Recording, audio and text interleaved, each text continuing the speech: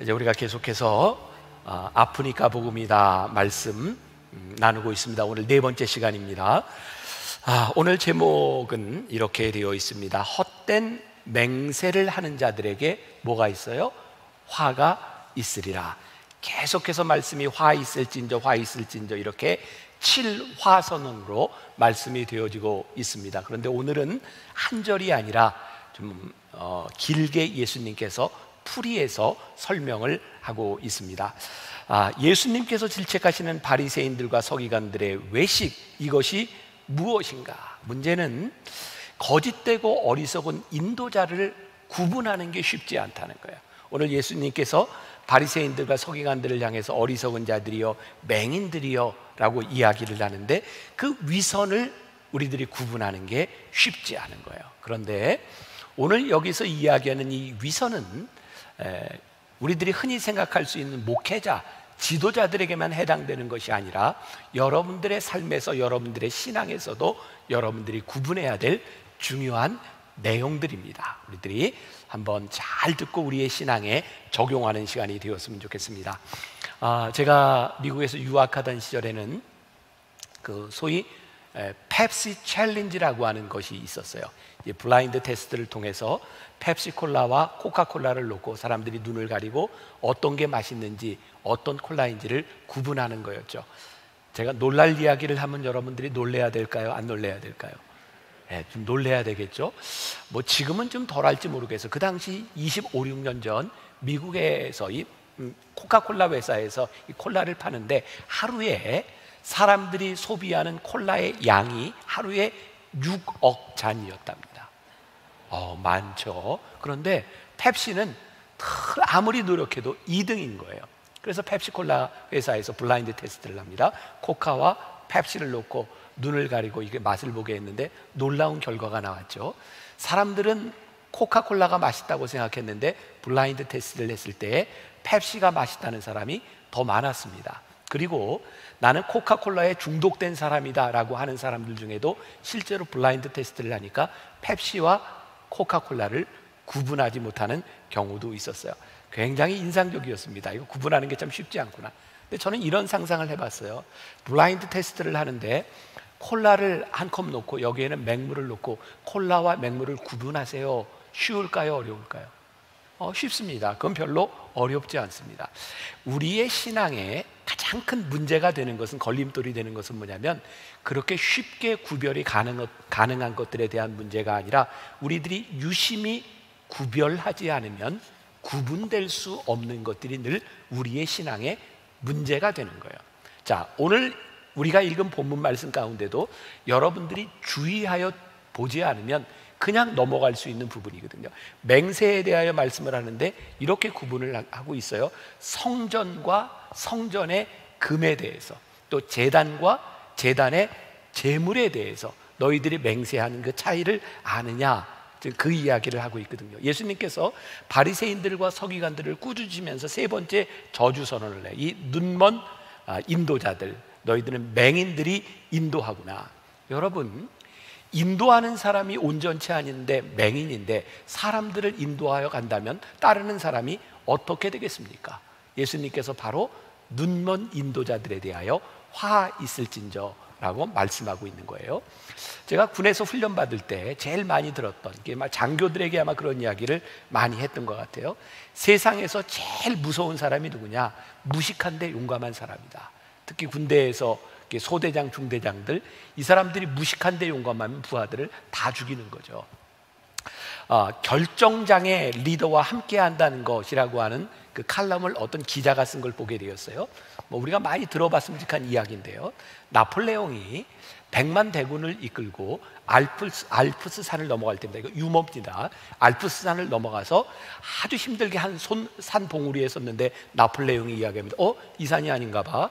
그래서 이제 그 눈보라를 뚫고 모든 사람들이 다 내려가서 이제 다른 봉우리에 올라가서 나폴레옹이 이야기합니다. 어, 아까 그 산이 맞나 봐. 아, 그러면 사람들은 다 미쳐버리는 거죠. 우유부단한 리더, 잘못 인도하는 리더가 얼마나 위험한가를 이야기하는 겁니다. 여러분 세상에서 진짜 무서운 사람은요 이렇게 무식하, 무식한데 용감한 리더가 아니라 똑똑한데 나쁜 길로 인도하는 리더는 훨씬 더 못됐습니다. 저는 예수님께서 오늘 이야기하는 바리새인들과 이 서기관들은 그들은 똑똑한데 나쁜 의도를 가지고 사람들을 잘못 인도하는 사람이었어요. 예수님께서는 그들을 향하여 화 있을진저 그들의 이득을 위하여 의도적으로 사람들을 잘못 인도하고 있는데 문제는 사람들이 그것을 구별할 줄 알아야 하는데 그것을 잘 구별하지 못하는 거죠.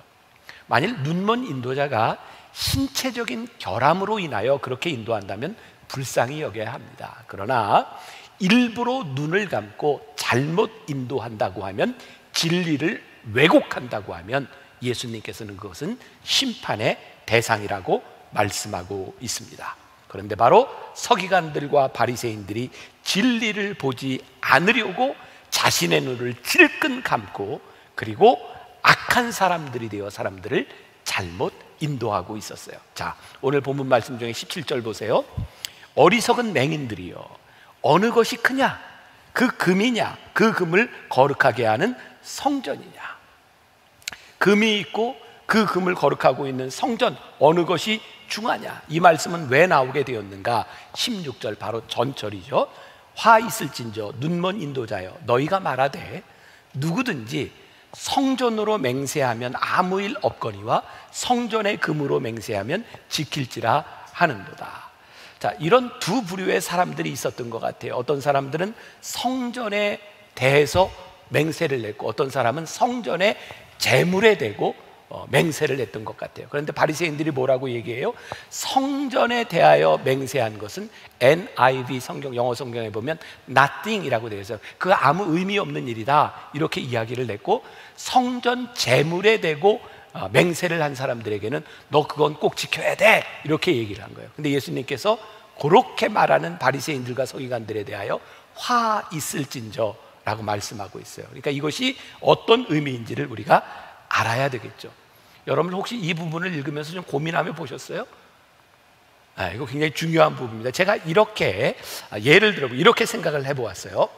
어떤 사람이 하나님께 기도를 하는 거예요. 하나님, 제가 이 성전에서 하나님께 맹세하며 기도합니다. 하나님 저에게 자식을 주시면 하나님 제 자식이 좋은 대학에 가면 제가 하나님 앞에 충성하는 사람이 되겠습니까? 하나님 제 기도를 들어주세요. 이렇게 기도한 사람이 있어요. 또 어떤 사람은 이렇게 기도합니다. 하나님, 제가 맹세하며 기도하는데 제 자식이 이번에 대학에 붙으면 제가 이 교회에 그랜드 피아노를 하나 사놓겠습니다. 하나님 제가 맹세합니다. 이렇게 기도했어요. 자, 성전을 지키고 있는 바리새인들과 서기관들에게 하나님 제 기도를 들어주시면 제가 하나님 앞에 충성을 다하겠습니다. 이런 기도는 nothing 아무 의미가 없어요. 왜?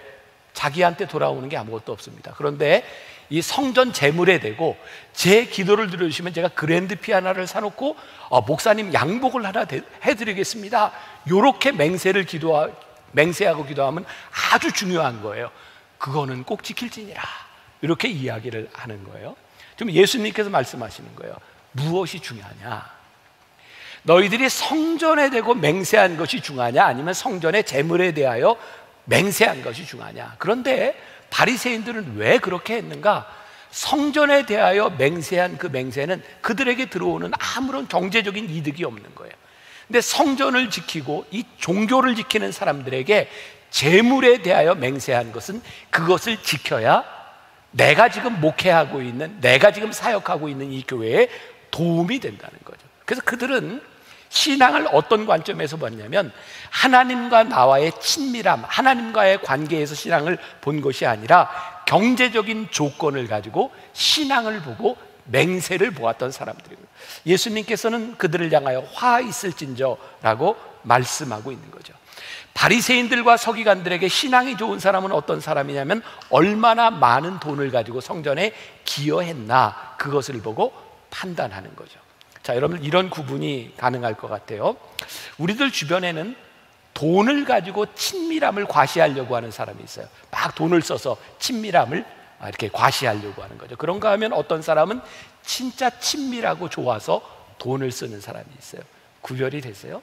성전에서 내가 얼마나 하나님을 잘 믿는 사람인지 알아, 내 신앙이 얼마나 좋은지 알아, 그것을 과시하기 위해서 돈을 쓰는 사람과 하나님과의 관계 속에서 그 신앙의 관점에서 필요한 것을 쓰는 사람은 다르다고 하는 거예요. 자, 또 하나 제가 이제 예를 들어 보겠습니다. 아, 제가 얼마 전에 이렇게 유튜브, 우리 교회 요즘 영상이 계속 유튜브로 가다 보니까 제가 유튜브를 볼 때가 많아요. 거기에 깜짝 놀랄 만하게 아주 짤막한 어, 그런 영상인데 제가 이렇게 찍었던 것이 있는데 조회수가 굉장히 많더라고요. 그래서 들어가 봐서 이게 뭐지? 그리고 갔더니 거기에 저에 대한 비난에 대한 글들이 정말 엄청 떴어요. 거기에 뭐 댓글이 이런 게 떴어요. 그래, 뭐 김병삼 목사는 목사가 아니고 먹사야. 그리고 생기를 거니 머리가 머리가 벗어진 걸 보니 돈을 밝히게 생겼어. 뭐 이런 거에서부터 저에 대한 비난이 정말 너무 많이 제가 입으로 다 표현하지 못하는 그런 비난들이 떴어요. 그래서 이 영상이 도대체 무슨 내용인가 봤더니 제가 오래전에 어떤 그 토크 프로그램에서 사람들의 질문에 대하여 대답한 거였어요. 내용이 이런 거였습니다. 교회에서 신앙생활을 하면서 권사나 장로나 이런 직분을 넣는데 돈이 필요합니까? 뭐 이제 이런 질문에 대하여 제가 이런 대답을 했어요. 성경에 보면 예수님께서 여러 가지 말씀을 하시고 비유를 말씀하셨는데 그 중에 80%는 어떤 것으로든 돈과 연관되어 있는 부분입니다. 예수님은 돈에 대해서 사실 우리들에게 명확하게 말씀하셨어요. 그리고 교회에서 직분을 얻는데 돈을 내고 직분을 얻는 것은 아니지만 직분을 가졌을 때 그 직분을 가지고 교회에서 사람들을 섬기고 써야 되는 것들도 있습니다. 그러니까 교회에서 돈이 필요한 것입니다. 여러분 이거 제가 이게 대머리 까져서 이런 얘기 하는 겁니까? 이거 맞는 얘기 아니에요. 근데 사람들이 그 얘기를 들으면서 저에게 왜 분노했냐면 교회에서 돈 얘기를 한다는 거예요. 목사가 돈 얘기를 한다는 거예요. 여러분 제가 분명히 알아야 될 것이 있다고 생각합니다. 예수님께서는 돈 얘기를 참 많이 하셨는데 돈이 최고의 가치를 가져서가 아니라 우리가 살아가는 이 세상에서 돈과 떨어져 살 수 없기 때문에 돈을 어떻게 사용하고 돈이 신앙과 어떤 관계에 있는지를 분명하게 말씀하기 위해서 돈에 대한 이야기를 참 많이 하셨습니다. 우리가 잘 아는 말씀 가운데 누가복음 21장 1절에서 3절까지 말씀 자 제가 읽어 드립니다. 예수께서 눈을 들어 부자들이 헌금함에 헌금 넣는 것을 보시고 또 어떤 가난한 가난한 과부가 두 랩돈 넣는 것을 보시고 이르시되 내가 참으로 너희에게 말하노니 이 가난한 과부가 다른 모든 사람보다 많이 넣었도다. 우리가 잘 아는 얘기. 예수님은 지금 돈의 양에 대한 말씀을 하시는 것이 아니라 그 돈을 하나님께 드리는 여인의 마음에 대해서 말씀하고 있어요. 그러니까 예수님께서 생각하시는 물질의 가치와 당시의 제사장들과 바리새인들이 생각하는 물질의 가치가 달랐던 것이죠. 바리새인들의 문제는 그들이 우리 예배의 대상인 하나님보다 하나님께 드리는 제물에 더 관심을 가지고 있었다는 거예요. 그래서 맹세하는 데 있어서도 하나님께 맹세한 것은 nothing 아무것도 아니야. 그런데 제물에 대하여 맹세한 것은 지켜야 돼 라고 자기 마음대로 자의적 해석을 하고 있는 거예요. 화 있을진저. 민수기 30장에 보면 맹세에 대한 이야기들이 나오는데 예수님께서는 이렇게 말씀합니다. 너희들이 맹세한 모든 것을 지켜라 라고 말씀합니다. 그것을 이렇게 분리하라고 말씀하지 않죠. 바리새인들과 서기관들은 이렇게 맹세를 분리하면서 맹세를 부추겨서 부의 축적의 수단으로 삼고 있었어요. 그런데 이런 것을 잘 분별하지 못하는 교회와 교인들이 있는 거예요. 얼마 전입니다. 저에게 우리 교회 아닌 어떤 분이 이메일로 상담 요청하는 편지를 썼어요. 제가 남의 교인이기 때문에 제가 상담을 하지는 않았습니다. 제가 짧게 이렇게 답변을 보냈는데 그런 내용이었어요. 목사님, 제가 오랫동안 섬기던 교회를 참다 참다 못해서 도저히 제가 신앙생활이 이해가 되지 않아서 교회를 나오게 되었습니다. 우리 교회에서 어떤 일이 벌어지고 있냐면요. 교인들이 목회자와 상담하기 위해서 상담을 요청하면 그 중간에서 이렇게 상담을 이렇게 예, 연결해 주는 전도사님이나 이런 분들이 상담의 내용에 따라 심각한 상담이면 돈을 조금 더 내고 심각하지 않은 상담이면 돈을 조금 덜 내고 상담할 수 있도록 그렇게 목사님들과 연결을 한다는 거예요. 또 담임 목사님에게 기도를 받으려고 하는데 아주 심각한 병을 가지고 기도를 받으면 큰 돈을 내야 되고 그렇지 않은 병은 조금 돈을 덜 내도 된대요. 그런 걸 가지고 저한테 고민이 된다고 편지를 썼어요. 너무너무 안타까운 일이죠. 그런데 우리들 주변에 이것을 분별하지 못해서 돈의 지배를 받고 권력의 지배를 받고 이런 것을 가지고 고민하는 사람이 있다는 거예요. 오늘 예수님께서 뭐라고 말씀하세요? 이 어리석은 자들아, 무엇이 중요한 줄 아니? 하나님은 돈에 의해서 움직이시는 분이 아니야. 하나님의 성전은 돈에 의해서 움직이시는 분이 아니야. 그런데 하나님의 성전을 지키는 제사장이 하나님의 성전을 지키는 목사가 타락하면 그가 이 교회 안에서 자기의 권리와 자기의 권세를 가지고 돈을 가지고 사람들을 컨트롤 하려고 해. 이 교회는 신앙을 지키는데 돈이 필요한 것은 사실이지만 그것이 하나님과의 관계와 하나님과의 친밀함을 말하는 것은 아니야. 예수님께서 지금 말씀하시는 거예요. 명확히 말씀하시는 거예요. 본질적으로 거룩한 하나님의 성전 때문에 하나님 앞에 드려지는 예물이 가치가 있고 그것이 올바로 쓰임 받는 것이지 그 돈이 가치를 가지는 것은 아니라고 하는 것을 말씀하고 있어요. 유명한 어거스틴이 이런 이야기를 했습니다. 우리들이 구별해야 될 것이 있다. 분별해야 될 것이 있다. 돈은 사랑의 대상이 아니고 사용의 대상이고 하나님만이 우리들에게 사랑의 대상이라는 것을 분명히 알아야 한다. 하나님을 사랑하기 때문에 바쳐진 예물이 잘 사용될 때 의미가 있는 것이지 교회가 돈을 사랑하는 공동체가 되고 우리 신앙인들이 하나님을 사랑하는 것이 아니라 돈을 사용하는 것은 어리석은 자들이요 화 있을진저라는 예수님의 질책의 대상이 된다는 것을 분명히 알아야 하는 거예요. 자, 그래서 오늘 마태복음 23장 19절에 맹인들이요 어느 것이 크냐? 그 예물이냐? 그 예물을 거룩하게 하는 재단이냐? 이거 구분할 줄 알아야 된다. 자, 여기까지 좀 구분이 되셨어요? 네. 그 마스크 썼지만 이거는 할 수 있잖아요. 네. 네. 네. 자, 이제 맹세에 대한 이야기를 좀 하려고 하는데 이 부분은 여러분들이 신앙생활을 하면서 많이 고민되는 부분 중에 하나일 것도 같아요. 우리들이 이 부분만 조금 듣고 이해를 하고 나가도 여러분들 신앙에 굉장히 도움이 많이 될 것 같아요. 맹세는 무엇이고 진짜 맹세는 필요한 것인가? 자, 오늘 본문 말씀 마태복음 23장 20절부터 22절까지 자, 우리 같이 한번 봉독해 볼 거예요. 한 목소리로 시작. 그러므로 재단으로 맹세하는 자는 재단과 그 위에 있는 모든 것으로 맹세하며 또 성전으로 맹세하는 자는 성전과 그 안에 계신 이로 맹세하며 또 하늘로 맹세하는 자는 하나님의 보좌와 그 위에 앉으신 이로 맹세합니다. 자, 보세요. 여기에서 예수님께서 맹세에 대한 말씀을 하고 계시는데 예수님이 맹세를 부정하고 계신가요?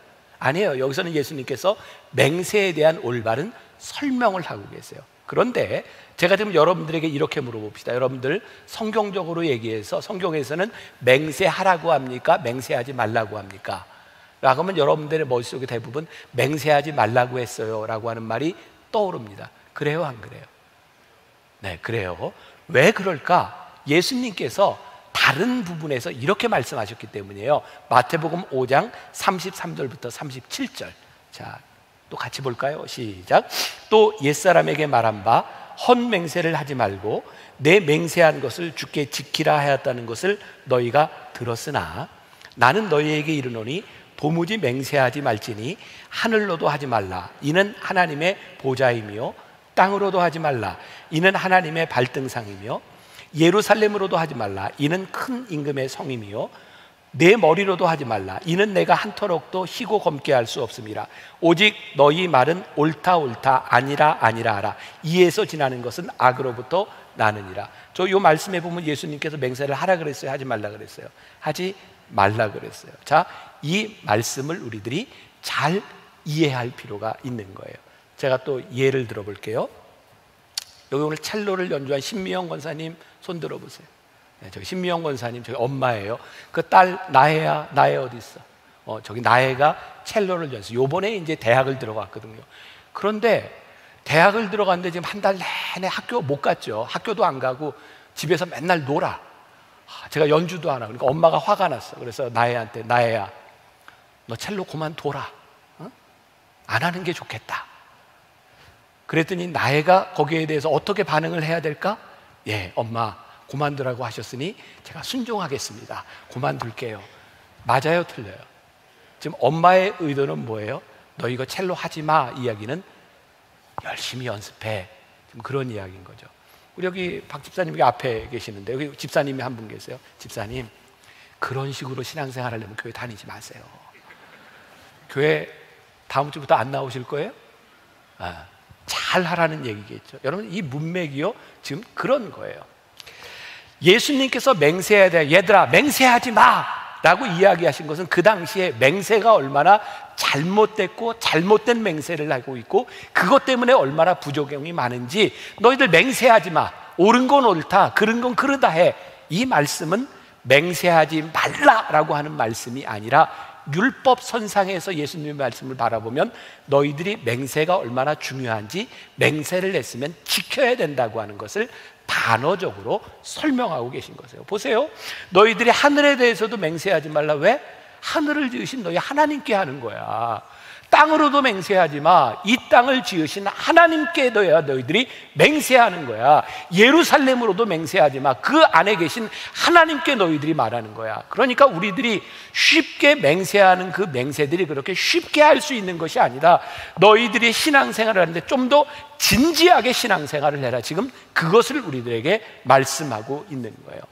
맹세는 그렇게 쉽게 하는 것이 아니라 인격적인 하나님 앞에서 우리들의 삶과 우리들의 인격을 걸고 맹세하는 것 그것이 올바른 맹세다. 자, 그러니 여러분들 이제 신앙에 제가 중요한 혹시 여러분들 이제 힘들게 하는 무거운 짐이 있을지 몰라요. 어, 80년대, 90년대는 한국 교회에 엄청난 부흥의 역사들이 많이 있어요. 부흥의 대형 집회들이 있었어요. 그런데 대형 집회들에서 늘 끝날 때쯤이면 소위 컬링이라는 걸 했어요. 알터컬 재단으로 어떻게 혹시 여러분들 중에 말씀을 듣고 여러분들 중에 선교사로 서원하는 분 나오세요. 또 목회자로 서원하는 분 나오세요. 아마 지금 여기 있는 분들 중에도 그런 집회에서 한 번쯤 일어났던 분들이 있는지 몰라요. 그리고 그것 때문에 여러분들이 내가 그 서원한 것을 지키지 못한 것으로 인하여 부담을 가지고 있는 분들이 있을지 모르고 또 여러분들 자녀를 놓고 서원한 것 때문에 힘들어하는 분이 있을지도 몰라요. 자, 여기에서 우리들 많이 힘들어요. 왜? 우리들이 하나님 앞에 서원한 것이 두 종류가 있는 거예요. 우리들이 너무나 감정적으로 쉽게 서원한 일이 있고 또 하나는 진짜 하나님 앞에 은혜를 받고 내가 이거 지키려고 했는데 하나는 감정적으로 서원을 하고 났는데 감정이 식고 나니 이것이 내가 올바른 서원인지 아닌지 모르겠는데 계속 찜찜하게 남아있는 경우. 또 하나는 하나님 앞에 진짜 믿음으로 서원을 했는데 내 상황이 허락하지 않는 거예요. 자, 제가 여러분들에게 이런 말씀 드리고 이거는 누가 이야기해 줄 수 있는 것이 아니라 여러분들만이 아니라요. 하나님 앞에서 여러분들이 봐야 될 부분이기도 해요. 여러분, 우리들이 하나님 앞에 쉽게 서원하는 것 그거 옳지 않고요. 여러분들이 하나님 앞에 감정적으로 서원한 것 그것이 내 감정이라고 하면 하나님 앞에 기도하세요. 그런데요. 내가 하나님 앞에 진정으로 서원하고 하나님 이건 내가 꼭 지키겠다고 했지만 여러분들이 아직 지키지 못한 일이 있다면 그 서원과 맹세를 지키기 위하여 하나님 앞에 기도하고 그 걸음을 뛰어보세요. 저는 분명히 이런 생각을 가집니다. 서원한 것을 지키는 것이 힘들기는 하지만 그 힘든 서원을 하나님 앞에 지키기 위하여 여러분들이 발걸음을 내딛는 순간 하나님의 인도하심을 경험합니다. 하나님께서 우리들에게 주신 마음이라고 하면 그것을 지키는 것이 우리들에게 축복임을 우리들이 경험할 수 있어요. 그러니까 여러분 이것은 인격적이고 하나님과의 관계에 대한 부분입니다. 여러분들이 저에게 상담하고 이게 진짜인가요? 가짜인가요? 제가 저에게 물어봐도 저는 그것을 대답할 능력이 저에게 없습니다. 만일 제가 나쁜 사람이라면 쉽게 이야기할 겁니다. 지키세요. 그리고 헌금하세요. 여러분, 이런 것들에 속지 말라는 겁니다. 하나님 앞에 여러분들이 인격적으로 서서 무엇이 옳은 것인지를 구별해야 되고 그리고 지금부터 여러분들이 신앙생활을 하는데 화 있을진저 하나님 앞에 어리석은 사람들이 되지 않기 위하여 여러분들이 하나님 앞에 맹세하는 것과 우리의 신앙의 고백을 하는 것을 여러분들이 신중하게 인격적으로 하라는 거예요. 여러분 목회자들이 제일 힘든 게 뭔지 아세요? 교인들에게 쉽게 말하고 강대상에서 설교한 것들을 지켜야 하는데 지키지 못할 때 힘들어지는 거예요. 여러분 사람들이 완전하지 않습니다. 그런데요. 정말 주의해야 될 일이지만 저는 이렇게 설교하면서 잊어버렸다고 생각하지만 교인들 중에는 그걸 꼭 기록하고 기억하는 사람이 있어요. 그럼 나중에 목사님 이런 얘기 했잖아요. 힘든 거예요. 그래서 말하는 것이 조심스러운 거예요. 예수님께서 뭐라고 말씀하세요? 조심하라는 거예요. 쉽게 맹세하지 말라는 거예요. 그리고 맹세했으면 지키라는 거예요. 쉽게 약속하지 말고 약속한 것은 지키려고 노력하는 인격적인 신앙생활을 해야 되는 것. 신앙이 쉽지 않습니다. 믿음을 지켜나는 것 쉬운 일이 아닙니다. 자, 그럼 우리들이 어떻게 이런 신앙을 우리들이 이런 믿음을 살아갈 수 있을까? 우리들의 삶에 적용하고 결론적으로 이야기를 한다면 이렇게 표현할 수 있을 것 같아요. 지금 예수님이 말씀하시는 것 중에 너희들이 성전에 뭐를 하든 재물을 드리는 거기에 누가 계셔? 하나님 계심을 생각하라. 다른 말로 이야기하면 하나님 중심적으로 생각하라. 이런 말이 될 것 같아요. 오늘 말씀 저 정리합니다. 재단이 중요한 것은 그 재단을 주관하시는 하나님이 계시기 때문이죠. 우리가 재단을 재단에 재물을 드릴 때 여러분들이 헌금을 할 때 중요한 것은 우리들이 하나님 앞에 헌금하고 하나님 앞에 드리는 것이 중요한 일이죠. 성전이 중요한 것, 이 성전의 주인이신 하나님을 우리들이 예배할 때 오늘 우리의 예배가 가치를 가지는 거죠. 우리의 인생이 하나님 중심으로 바라보기 시작할 때 복음을 살아요. 그런데 하나님 중심을 벗어나면 복음을 벗어나요. 요즘 많이 하는 이야기가 있어요. 안전장치. 안전장치가 필요해. 그래서 어떤 일들이 일어나요? 사람들하고 대화를 하는데 무슨 계약을 하든 뭐 어, 간부가 회사의 간부가 사원을 데리고 이야기하든 대화를 할 때 요즘은 몰래 녹음하는 게 유행이에요. 왜? 그 사람이 언제 말이 바뀔지 모른다는 거예요. 요즘은 회의할 때 대화를 할 때 그것부터 확인한다 그러죠. 스마트폰 다 놓고 와. 못 들어 가지고 못 들어오게 한다는 거죠. 여러분 어린아이들을 어린이집에 보내는 부모들이 늘 CCTV 확인합니다. 무슨 일이 일어나고 있는지. 심지어 가정에 아이를 맡기고 출근하는 부모가 몰래 카메라를 아, 설치해 놓고 어떤 일이 일어나는지를 보고 있는 거죠. 못 믿겠다는 거예요. 도, 도대체 못 믿을 세상이 되어버렸다는 거예요. 왜 그럴까요? 우리들의 가치가 하나님 중심적이지 않기 때문에 다른 것의 가치를 가지고 있기 때문에 우리가 쉽게 말을 바꾸는 사람들이 되었어요. 여러분, 우리들의 삶의 중심이 물질이 되잖아요. 물질 때문에 말을 바꿉니다. 우리들의 삶이 권력 지향작이 되잖아요. 권력을 가지기 위해서 쉽게 말을 바꿉니다. 우리는 손해를 보지 않기 위해서 쉽게 말을 바꾸는 사람들이 됩니다. 여러분, 지금 이 시대를 살아가며 우리를 가장 마음 아프게 하는 일들이 뭡니까? 믿을 게 없다는 거예요. 믿을 사람이 없는 거예요. 도대체 이 세상이 이렇게 되면 어떻게 될까? 참 힘든 거예요. 제가 말씀을 준비하다가 어, 한 글을 보게 되었어요. 너무 좋아서 제가 여러분들에게 좀 짧게 읽어 드리려고 합니다. 정직이 경쟁력이다 이런 글이었는데 형통함이란 손해 보지 않는다거나 편안하게 살 수 있다는 말이 아니다. 형통함이란 손해를 보더라도 하나님의 방식대로 사는 것이 의로운 것이고 하나님의 뜻이라는 걸 믿는다는 말이다. 정직한 삶에는 때로 고난이 찾아온다. 시간이 걸린다. 하지만 가장 올바른 태도다. 그리고 제가 글을 쭉 읽다가 깜짝 놀랐어요. 그 밑에 보니까 만나교회 김병삼 목사가 이 글을 썼더라고요. 제가 5년 전에 신문에 제가 칼럼에 썼던 글이었어요. 전 이렇게 잊어버렸던 글이었는데 어쩐지 많이 익숙하다, 참 좋은 글이다. 제가 썼기 때문에 좋다고 느꼈던 것 같아요. 아, 정직이 경쟁력이다. 우리가 언제 정직해질까요? 하나님 앞에 설 때입니다. 하나님 앞에 서면 돈 때문에 말을 바꾸거나 권력 때문에 말을 바꾸거나 다른 어떤 이득 때문에 우리의 말을 바꾸지 않습니다. 요즘 제가 많이 느끼는 거예요. 하나님, 이 나라와 이 민족의 소망이 어디 있습니까? 정직한 사람을 보기 쉽지 않고 다 자신의 이득을 취하여 쉽게 말을 바꾸는 이 사회 가운데서 누가 이 나라와 이 민족을 지키는 사람이 될 수 있겠습니까? 저는 유일한 경쟁력, 복음을 사는 사람들이라고 저는 믿습니다. 근데 복음이 힘들고 아파요. 복음을 살아내는 것이 결코 쉽지 않습니다. 그런데 오늘 우리가 하나님 앞에서 하나님 제가 어리석은 자가 되지 않겠습니다. 화 있을진저 화의 대상이 되지 않겠습니다. 하나님 앞에 무엇이 중요한지를 알고 살아가는 사람이 되겠습니다.